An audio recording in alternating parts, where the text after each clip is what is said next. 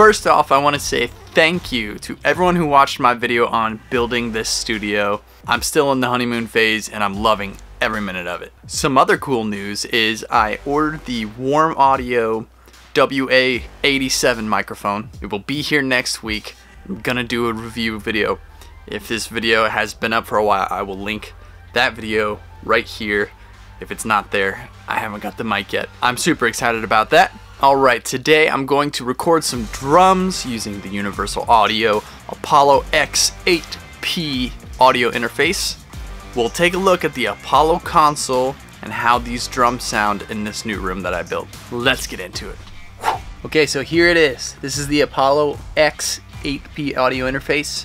It has eight mic pre's built in, and I have it connected via ADAT light pipe to my Focusrite Scarlett interface, which also has 8 mic pre's. I'm going to be using probably 13 of them on the drums today. You can control all of your inputs and settings via their software called Console. We'll go through that in a second, but first let's check out the microphones on the drum kit.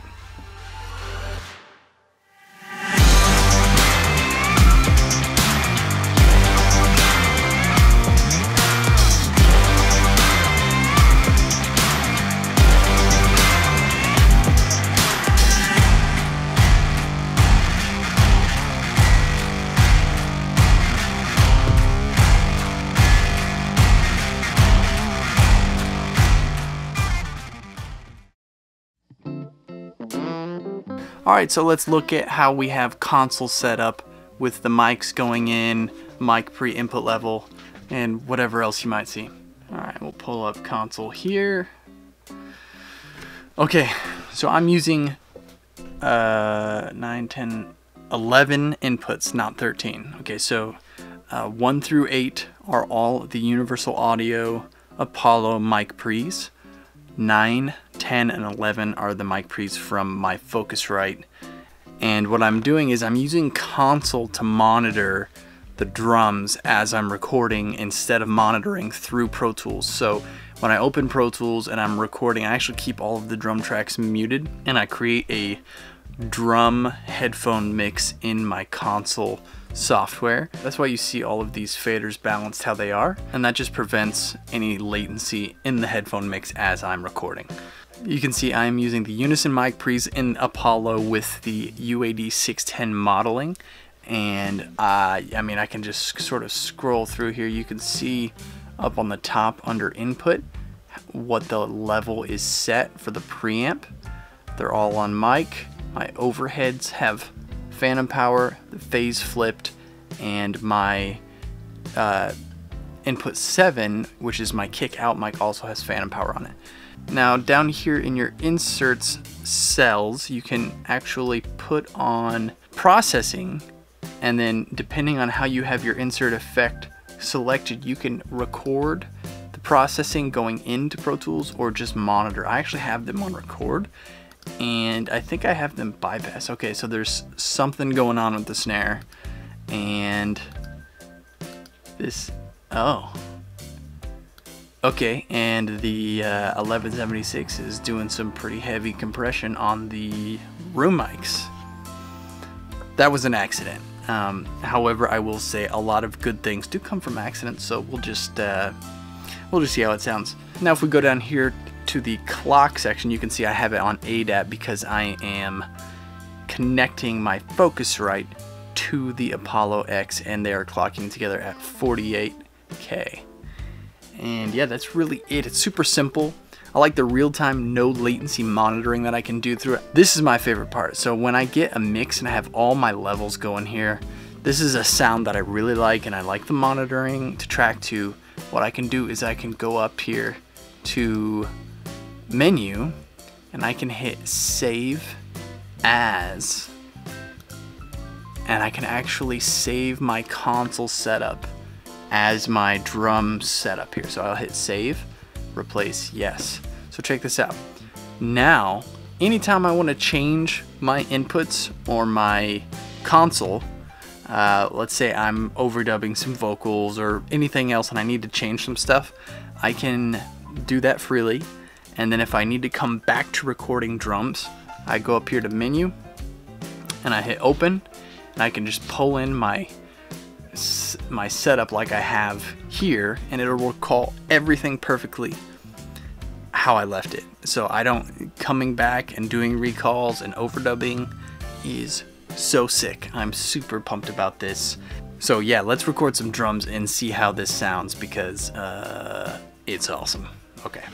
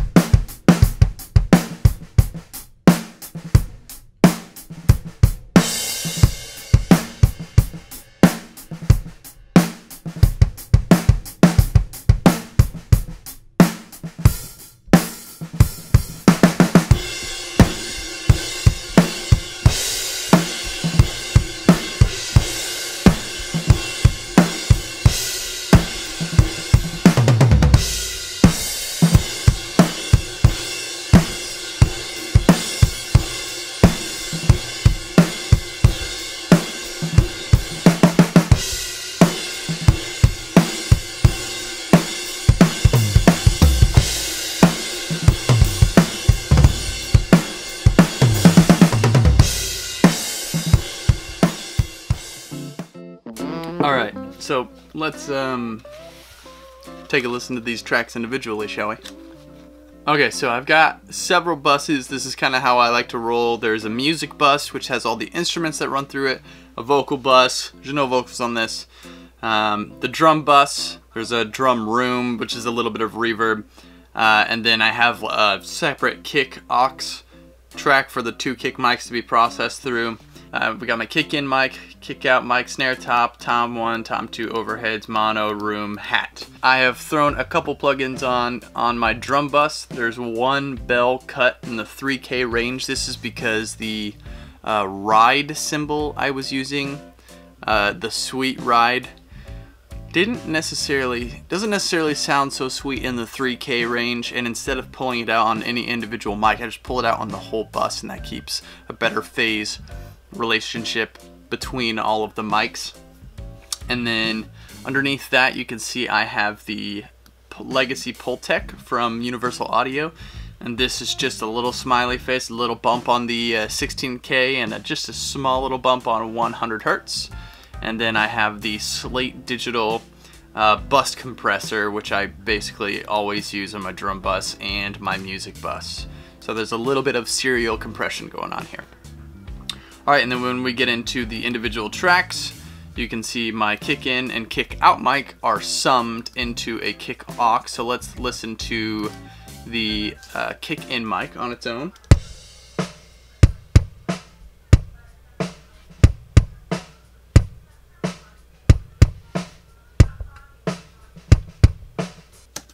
No surprises there. I've been using the AKG D112 for over 10 years on my kick in and uh, it's, it's exactly what I'm looking for. Just a little bit of bite in the mid range, not too much low end, not too much high end. Uh, it doesn't give you that super slappy feel. And as you can see, I have the two kick mics going through a FabFilter EQ, pulling out some low mids, uh, adding in a little bit of the 1000, and then a little bit of the slap overall. Now you can see the FabFilter Pro Q3 is processing both kicks together, so let's listen to the uh, kick out mic on its own and then we'll listen to the others together.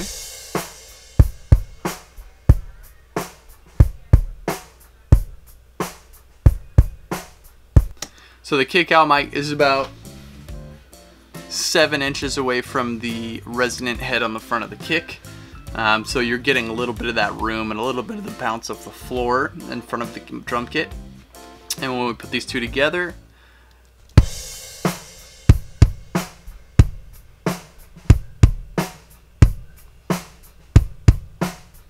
it's great. Inside and outside, and then I have my Universal Audio 1176, processing them both together uh, with a, you know, you can see it. Just a little bit of a, just kissing it about one and a half dB max three dB of gain reduction on the compressor. Uh, and the snare, I'm just using one snare mic, it's the SM57.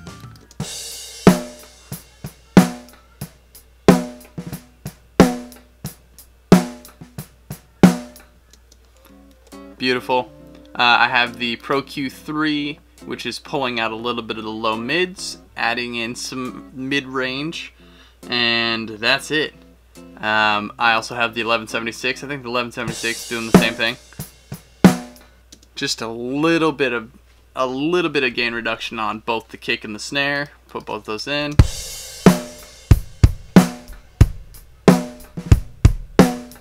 This is a rock song that I'm playing with some fairly aggressive sounding drums. So the the Black Beauty snare is tuned higher and has more of a bite sound to it.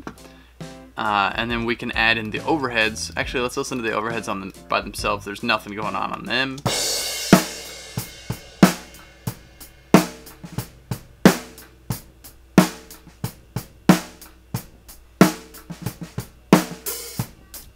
So the overheads are in XY, which has a nice close stereo image with a with a very good phase relationship. And then when I pop the snare in, the way that I the height that I place my overheads at that I like the sound of with in relation to the snare always is out of phase with the snare drum so I'll flip the polarity and it will all of a sudden the snare shows up so when you can see the difference between no overheads and then overheads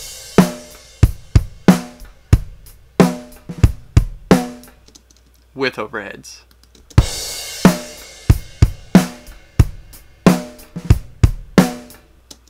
Okay, and then we'll add in the mono kit. The mono kit is just over my shoulder at about this height right here, probably about eye level.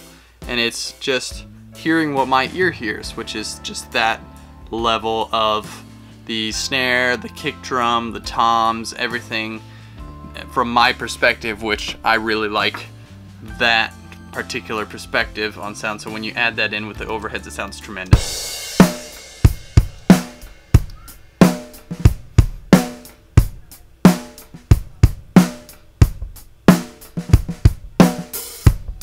Without. With.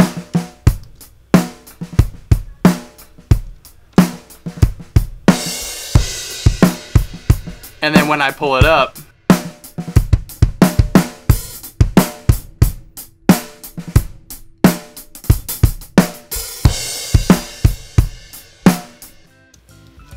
Sweet. Alright, the hi-hat, I'm using this SM7 right here, which the SM7, if you never use it on drums, you can throw it on any drum and it's going to sound tremendous.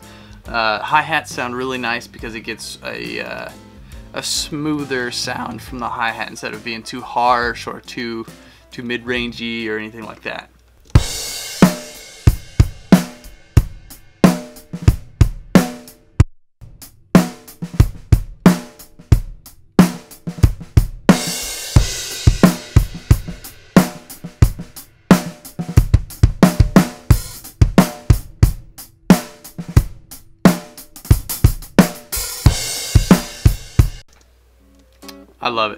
On my hi-hat, all I'm doing is just rolling off some low end up to about 164 and then just high shelf pulling out about 1 dB of about 9.5k. So, in here.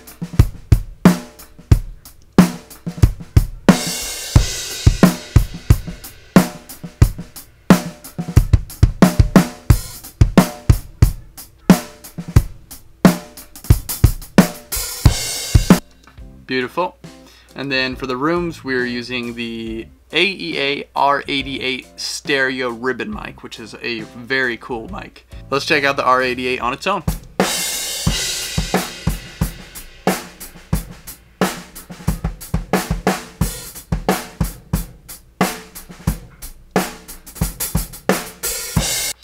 Alright, and then with the kit.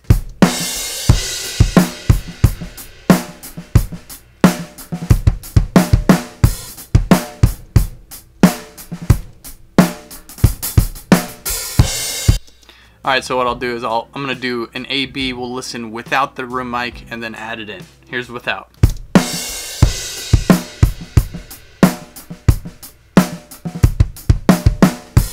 And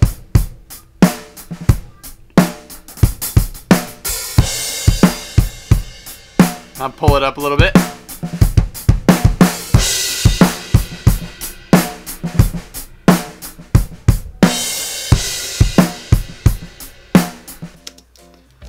Sweet. It's nice to have that depth of the room. Yeah, I mean, there's not too much on the on the toms. I think there's a little bit of a bump on the mids and the low mids. And then I just have these FabFilter gates, which are awesome. Um, super effective. Some of the best gates for toms if you if that's your thing, bro. All right, so let's check out these toms.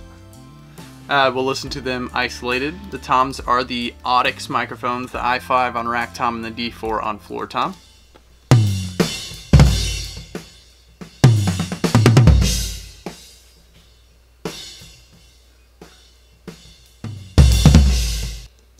Alright, and then uh, with the kit,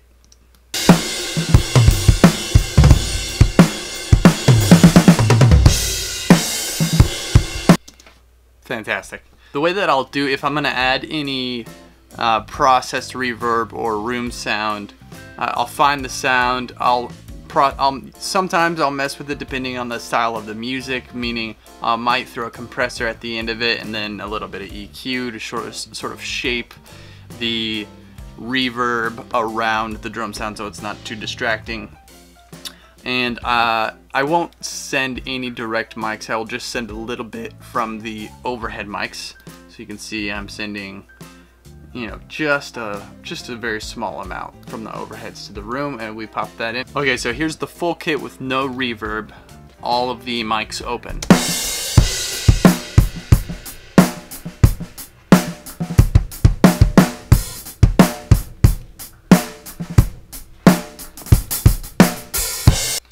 Okay, and then with the reverb added.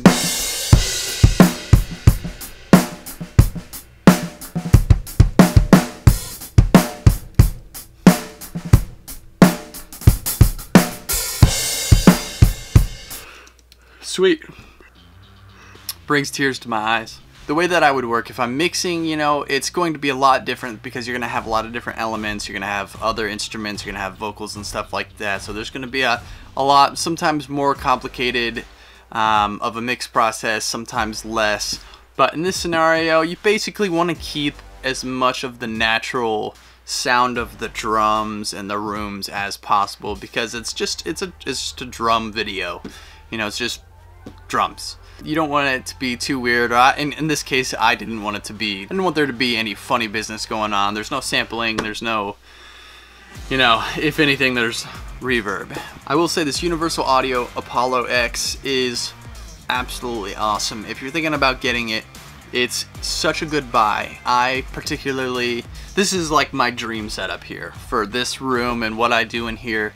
Absolutely love it. 16 inputs, 8 mic pre's. They're great mic pre's using the console software to be able to mess with and to be able to record processing going in and be able to get your headphone mix going with no latency. That's so cool to me. Two big thumbs up from me. If it's not your cup of tea, what's your favorite audio interface? Tell me down below in the comments. Uh, I'd love to find out. I'd love to try something else. The Focusrite has been pretty fun for me up until I got the uh, Universal Apollo. I gotta admit they're great together and you know, using the ADAT and connecting them is super easy and sounds great. And yeah, if you have any other questions about the interface, let me know down in the comments. If you have any questions about my setup, mics, why I'm using it, let me know. I might do another video where I talk more in depth about mic placement and particular mics that I use and the drums and all of that kind of stuff. Yeah, if you like the video, make sure to give it a big thumbs up. If you like the channel, go ahead and hit subscribe. A great way to support the channel is to actually share this video. So if you do like the video, please share it with a friend or share it to Facebook or whatever you use. It really helps support the channel and it helps me and I'm very appreciative. Thank you very much again for watching and I will see you in the next video. Peace.